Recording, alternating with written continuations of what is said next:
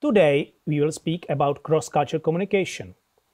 We will try to navigate you how to communicate with the staff, students, and external stakeholders about building quality culture.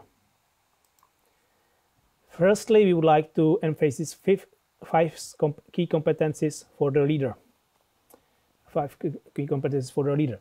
Firstly, comprehend the communication needs and different styles with different actors within and outside the institution.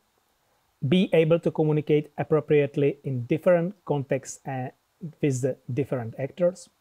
Third, be able to explain the importance of quality assurance and quality culture to different actors. Have respect for diversity, support openness and transparency.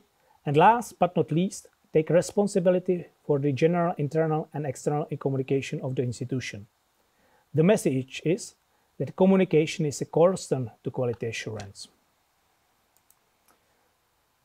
Why quality cultures from different perspectives? Uh, we will look on this issue now, on this question. We would like to underline that explanation and positive approach is better than a whip. So the question is, which factors motivate different stakeholders to developing and supporting your quality culture ecosystem? You can see each type of stakeholder as a player in the band.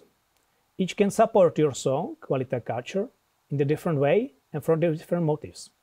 And you are, as a leader, like a manager in the band. So let's start with employers, your drummers.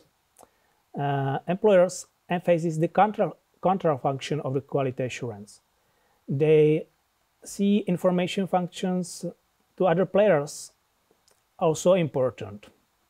Quality assurance should give information about the graduates. Who is the graduate and how ready they are. This is the most interesting piece of information for employers. Employers link quality assurance with labor market needs, both at the program level and across programs.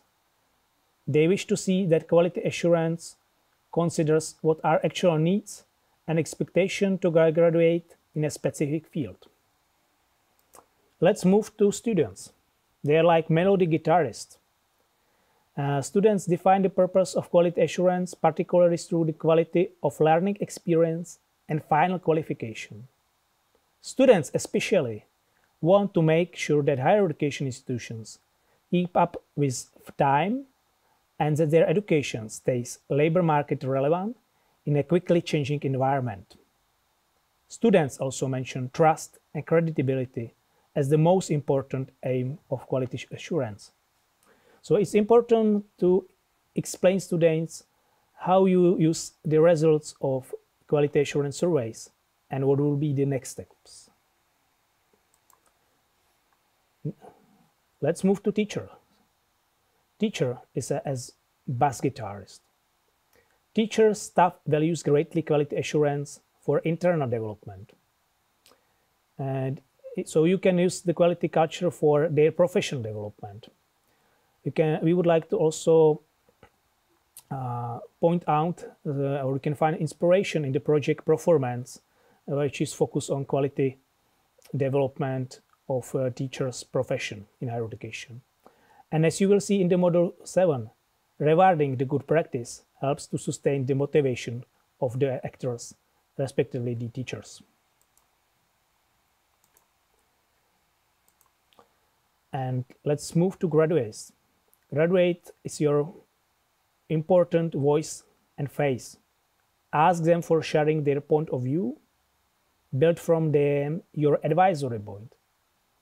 Find what they need and how your institution can still support them in their professional and personal lives. So finally, we can see most important is dialogue. Let them speak together because as band, only function if they speak as a one. They need very good dialogue. Explain different needs and try to find jointing points. Support openness and trust. Underline importance of different actors for you. And let them be active part of open dialogue.